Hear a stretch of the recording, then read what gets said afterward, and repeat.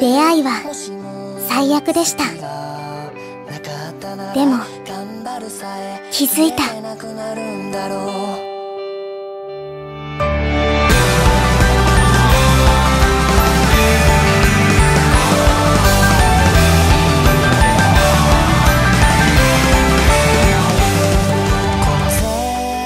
口さんってあの綾瀬さんって人が好きなの？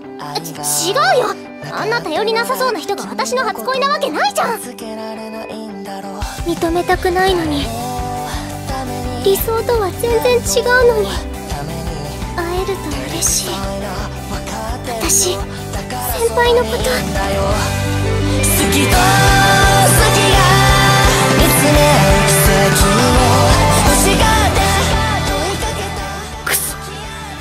眼中にも入ってねえってか。あなたは好きな人にどう告白されたいですか？本当は好きって分かってるのに勇気が足りなくて。分かんないよ。好きな人のために頑張ってる小雪先輩にどんな顔したらいいの？今行かないと。私榎本にも瀬戸口さんにも助けてもらったから。待てよ！おめでとう。好きだった人。私は好きです。先輩のこと好きです。幸せに